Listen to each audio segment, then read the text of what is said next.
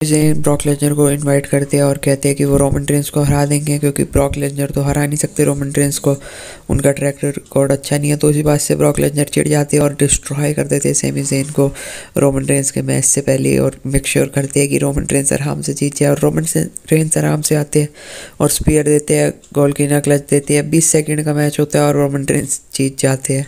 बीस से भी कम का होता है वैसे तो।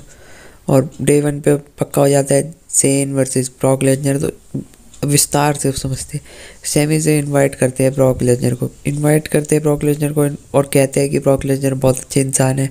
आज वो दिखा देंगे ब्रॉक लेजनर को, क्योंकि वो रोमन रेंस को बीट कर देते हैं। क्योंकि ब्रॉक लेजनर को भी पता है कि उनका ट्रैक रिकॉर्ड अच्छा नहीं है रोमन रेंस के खिलाफ। और इसी बात से चिढ़ जाते हैं।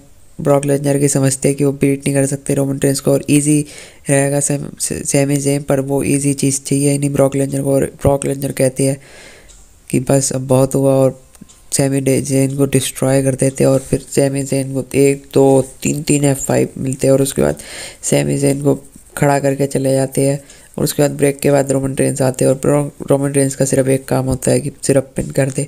पर उसके बावजूद भी रोमन ट्रेंस उन्हें स्पेयर भी देते हैं, एक गोल की ना क्लच भी देते हैं और 20 सेकंड का मैच होता है। और बड़ा वियर्ड सा मेन इवेंट था बट हाँ मेक श्योर ये वर्क हुआ। सेमी सेमीजेन को मैच नहीं मिला अपना ढंग से, फिर से वही कॉन्स्परेसी वाला चलाएँगे अगले हफ़्ते से। बट डे वन में हमें पक्का हो गया मैच की Roman tense versus Brock Lesnar तो बहुत बड़ा मैच है और बहुत बड़े बड़े मैच डे वन में। Triple threat W W championship का भी और ये वाला भी बड़ा मैच तो डब्ल्यू डब्ल्यू सीरियस है। डे वन वाले पेपर व्यू के लिए क्योंकि रॉयल रंबल से पहले मैच हुआ है तो it's a big thing so देखते हैं नेक्स्ट वीक क्या होगा जब ब्रॉक लेजनर आते हैं स्मैकडाउन में दोबारा से।